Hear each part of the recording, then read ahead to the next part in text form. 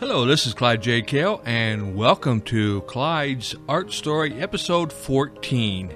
It's been a while since I produced one of these episodes, and I've been busy working and creating art.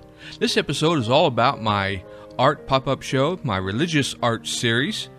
You'll find that at www.artpopupshows.com. Again, that's artpopupshows.com, and you can check that out, please.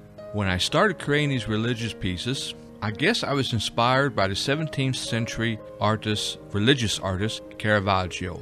He's an Italian artist, a rather bad boy. He had a uh, uh, was constantly in trouble, but his art has withstood the test of time. So I've been told by various people that uh, my work looks similar, at least the chiaroscuro technique that Caravaggio established is used in these in these pieces. I'll let you be the judge. So now sit back, enjoy some of the music, and view the art with this episode 14 of Clyde's Art Story.